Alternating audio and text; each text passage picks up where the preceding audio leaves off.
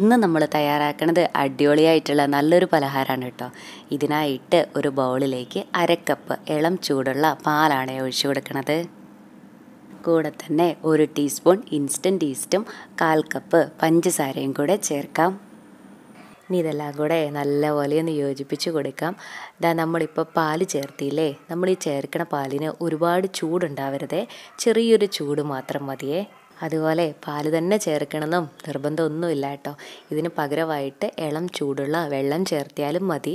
പക്ഷേ നമ്മൾ പാൽ ചേർത്തിട്ട് ഇതുപോലെ തയ്യാറാക്കുമ്പോഴാണ് കേട്ടോ കഴിക്കാനായിട്ട് ഒന്നും കൂടെ നല്ല ടേസ്റ്റ് ഉണ്ടാവുക. ദാ ഇനി നമ്മൾ ഇതിലേക്ക് ചേർക്കുന്നത് ഒന്നര കപ്പ് ഗോതമ്പ് പൊടിയും അര കപ്പ് മൈദയും അര ടീസ്പൂൺ ഉപ്പും ഒരു ടേബിൾ സ്പൂൺ പാൽപ്പൊടിയുമാണ് കേട്ടോ പാൽപ്പൊടി ചേർത്തിട്ട് ഇത് തയ്യാറാക്കിയിട്ട് കഴിക്കാനായിട്ട് ഒരു പ്രത്യേക രുചി തന്നെയാണ് കയ്യിലുണ്ടെങ്കിൽ ഉറപ്പായും ചേർത്ത് കൊടുക്കണേ. ഇതാ നമ്മൾ ഇതിലേക്ക് ഇട്ട് കൊടുക്കുന്നത് റൂം ടെമ്പറേച്ചറിലുള്ള ചെറിയൊരു ക്യൂബ് ബട്ടറാണ്. ബട്ടർ ചേർത്ത് കൊടുക്കണമെന്ന് നിർബന്ധമൊന്നുമില്ല കേട്ടോ. ഇതിന് പകരമായിട്ട് ഒരു ടേബിൾ സ്പൂൺ ഓയിൽ ചേർത്താലും മതിയേ. ഇനി ഇതെല്ലാം കൂടെ നന്നായിട്ടൊന്ന് യോജിപ്പിച്ച് കൊടുത്ത ശേഷം ഇളം ചൂടുള്ള അരക്കപ്പ് പാലും കൂടെ ചേർത്തിട്ട് നല്ലപോലെ ഇതൊന്ന് മിക്സാക്കി എടുക്കാം. നമ്മുടെ ഈ ചേർക്കണ പാലിനും ഒരുപാട് ചൂടുണ്ടാവരുതേ. ചെറിയൊരു ചൂട് മാത്രം മതി. നമ്മളിവിടെ തയ്യാറാക്കണത് നല്ല സോഫ്റ്റ് ആയിട്ടുള്ള ബ്രെഡാണ് കേട്ടോ. സാധാരണ നമ്മൾ ബ്രെഡൊക്കെ തയ്യാറാക്കണ സമയത്ത് ഒരുപാട് സമയം കുഴച്ചെടുത്തിട്ടൊക്കെ അല്ലേ തയ്യാറാക്കുക പക്ഷേ നമ്മളിവിടെ ഒട്ടും തന്നെ കുഴയ്ക്കാതെ ഇതാ ഈ ഒരു മാവ് കലക്കി വെച്ചത് കൊണ്ടാണ് നമ്മുടെ ഈ ഒരു ബ്രെഡ് തയ്യാറാക്കണത്. ഇതുപോലെ നമ്മൾ ചെയ്താലും നല്ല പഞ്ഞ പോലെ തന്നെ നമുക്ക് കിട്ടുവേ. ഇതാ ഇപ്പോൾ കണ്ടില്ലേ? ഇത് നല്ല കുഴഞ്ഞ പരുവത്തിലുള്ള മാവായിട്ടല്ലേ ഇരിക്കണേ. ഈ ഒരു പരുവത്തിലാണേ നമുക്കിത് കിട്ടേണ്ടത്. ഇതാ ഇനി ഇതൊന്ന് കവർ ചെയ്ത് കൊടുത്ത ശേഷം ഒരു മണിക്കൂർ നേരം റെസ്റ്റ് ചെയ്യാനായിട്ട് ഇതൊന്ന് മാറ്റി വയ്ക്കാം അപ്പോഴേക്കും നമ്മുടെ ഈ മാവ് നല്ലപോലെ പൊങ്ങി വന്നിട്ടുണ്ടാവും. ഇതാ ഇപ്പോൾ നമ്മുടെ മാവ് റെസ്റ്റ് ചെയ്യാനായിട്ട് മാറ്റി വെച്ചിട്ട് ഒരു മണിക്കൂറായി. അപ്പോഴേക്കും കണ്ടില്ലേ? ഇത് നല്ലപോലെ പൊങ്ങി വന്നിട്ടില്ലേ? ഇനി മാവിപ്പോൾ നമ്മൾ കൈ കൊണ്ടൊക്കെ എടുക്കാനായിട്ട് നോക്കിക്കഴിഞ്ഞാൽ നമ്മുടെ കയ്യിലൊക്കെ ആകെ ഇത് ഒട്ടിപ്പിടിച്ച് പോകും.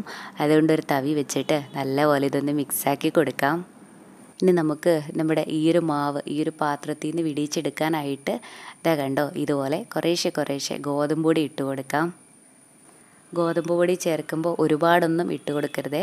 നമുക്കിതാ ഈ പാത്രത്തിൽ നിന്ന് വിടിയിച്ചെടുക്കാൻ പാകത്തിനുള്ള പൊടി മാത്രം ഇട്ട് കൊടുത്താൽ മതിയേ.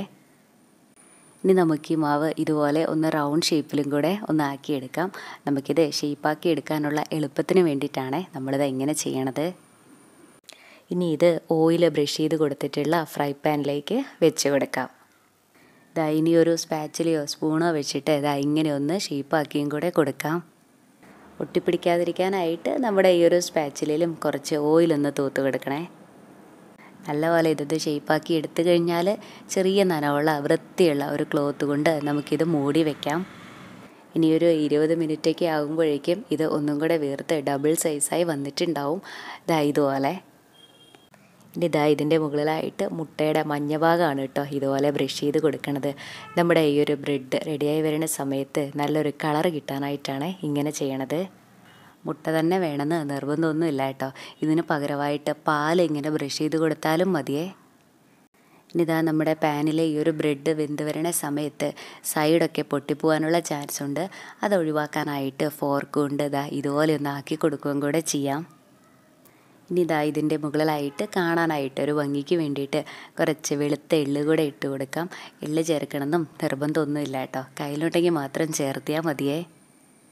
ഇനി ഇതാ നമ്മുടെ ഈ ഒരു പാന് നമ്മൾ വെച്ച് കൊടുക്കുന്നത് പത്ത് മിനിറ്റ് നേരം നല്ലപോലെ ചൂടാക്കി എടുത്തിട്ടുണ്ടായിരുന്ന തവയുടെ മുകളിലായിട്ടാണ് കേട്ടോ. ഇനി ഇത് നമുക്കൊന്ന് മൂടി വെച്ച് വേവിക്കാം. അടപ്പിലുള്ള ഈ ഒരു ചെറിയ ഹോളിൽ ഇതൊന്ന് അലുമിനിയം ഫോയിൽ വെച്ച് മൂടി കൊടുക്കണേ. ലോ ഫ്ലെയിമിൽ പതിനഞ്ച് മിനിറ്റ് അപ്പോഴേക്കും തന്നെ ഇതിന്റെ അടിഭാഗമൊക്കെ നമുക്ക് നല്ലപോലെ വെന്ത് കിട്ടിയിട്ടുണ്ടാവും. ഞാനിതിന്റെ അടിഭാഗമൊക്കെ നല്ലപോലെ മുരിയിച്ചിട്ടാണ് എടുക്കണത്. ഇത്രയും മുരിഞ്ഞ് വേണ്ടാന്നുണ്ടെങ്കിൽ പന്ത്രണ്ട് മിനിറ്റൊക്കെ ആകണ സമയത്ത് ഇതേ കണ്ടോ ഇതുപോലെ മറിച്ചിട്ട് കൊടുത്തോളൂ. നമ്മുടെ ഈ ഒരു ബ്രെഡിന്റെ തിക്നെസ് അനുസരിച്ചിട്ട് ഈ ഒരു സമയത്തിലൊക്കെ വ്യത്യാസം വരാട്ടോ ഇനി ഇത് മൂടി വെച്ച് മറ്റേ സൈഡും നല്ലപോലെ വേവിച്ചിട്ടെടുക്കാം ഇതായിപ്പോൾ ഇതിന്റെ മറ്റേ സൈഡും നന്നായി തന്നെ വെന്തിട്ടുണ്ട്. ഈ ഒരു പാകമായാൽ മതി. ഇനി നമുക്ക് ഫ്ലെയിം ഓഫ് ചെയ്യാം. എന്നിട്ടിത് വേറൊരു പാത്രത്തിലേക്ക് മാറ്റാം. ഇനി ഇതിന്റെ ചൂടൊക്കെ നല്ലപോലെ പോയി കഴിയുന്ന സമയത്ത് നമുക്കിത് കട്ട് ചെയ്തിട്ടെടുക്കാം. ദാ ഇത്രേ ഉള്ളൂ നമ്മുടെ ഗോതമ്പ് ബ്രെഡ്. ഇത് നമുക്ക് നല്ല പഞ്ഞി പോലെയാണ് കേട്ടോ കിട്ടുക. നമുക്കിത് കുഴച്ച് കഷ്ടപ്പെടുക ഒന്നും വേണ്ടാലോ. നമ്മുടെയൊക്കെ വീട്ടിലെ ഫ്രൈയിങ് പാൻ പോരെ ഇത് നമുക്ക് തയ്യാറാക്കാനായിട്ട്. ഇതാണെങ്കിൽ കുട്ടികൾക്കാണെങ്കിലും നമുക്ക് ധൈര്യമായിട്ട് കൊടുക്കാമല്ലോ ഇത് കഴിക്കാനായിട്ടും നല്ല രുചി തന്നെയാണ്. കുറച്ച് പേർക്കൊക്കെ ഇതുപോലെ തയ്യാറാക്കാനായിട്ട് അറിയണുണ്ടാവും. അറിയാത്തവരുണ്ടെങ്കിൽ ഗോതമ്പ് ബ്രെഡ് ഇതുപോലെ ഒന്ന് വീട്ടിൽ തയ്യാറാക്കി നോക്കണേ. എന്നിട്ട് അഭിപ്രായം പറയാനും മറക്കല്ലേ. താങ്ക്